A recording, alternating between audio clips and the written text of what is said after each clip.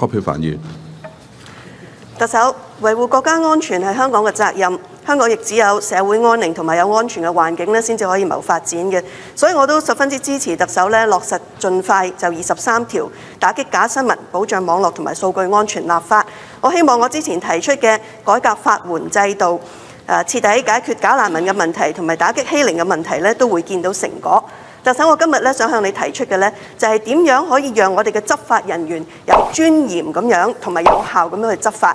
嗱，近年嚟咧，我哋見到咧，誒即係警務人員咧，好多時候喺工作嘅時候咧就被辱罵，喺網上邊咧亦都經常被侮辱嘅。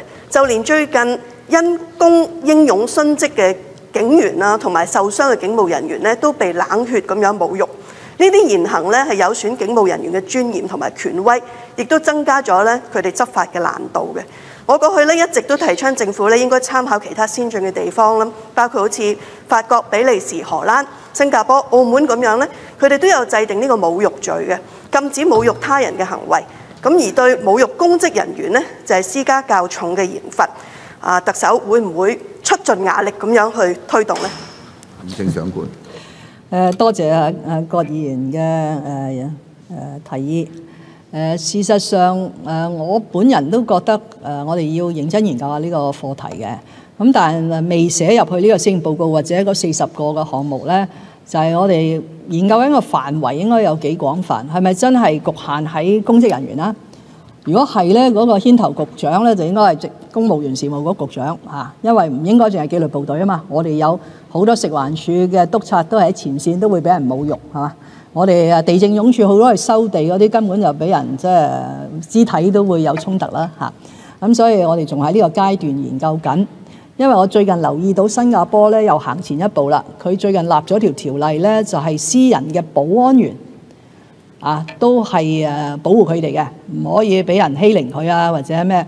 咁所以你俾啲時間我哋研究下呢個範圍應該係誒有幾闊，然後我哋再或者喺下一屆立法會同誒立法會匯報下，咁我哋再跟進有關嘅工作。葛珮帆要。特首啊，其實咧，我哋立法會咧係一六年以嚟咧最少七次討論咗呢個議題。咁我每次咧開公務員事務局咧同埋保安事務委員會嘅會議咧，我都基本上都有提出呢個問題嘅。咁我最近呢，亦都請立法會嘅秘書處嘅研究部咧，亦都做咗呢份法國同埋新加坡禁止侮辱執勤中公職人員法例嘅一個研究。咁所以咧，我覺得其實都俾咗好多時間㗎啦。誒、琴日咧你讀完呢個施政報告之後咧，即刻都有啲警務人員咧就即係同我講，就係話一日未有呢條法例咧，佢哋都覺得唔夠有尊嚴啦，同埋咧亦都唔安心。咁所以我都好希望咧，特首去盡快去做。誒，每一次咧都係兩邊局長公公務員事務局定係保安局咧，都已經講咗好耐。咁我都希望咧，就係特首可以盡快有個清晰嘅指示。誒，我都覺得咧，其實雙向嘅，好似澳門咁嘅雙向嘅侮辱罪咧，都係可以值得考慮嘅。但係就如果係侮辱公職人員嘅話咧，可能就罪加一等。行政長官。好，我哋啊加快呢一方面嘅嘅工作。不過即係容許我講句咧，最終咧法例都係一個手段嚟嘅啫嚇。誒社會最好嘅境況咧就係自覺，我哋自覺維護國家安全，自覺尊重誒法治嘅社會，自覺尊重別人。咁所以你要留意喺施政報告裏邊有關教育嘅部分咧，我自己特別加強咗一段咧，就係家長教育。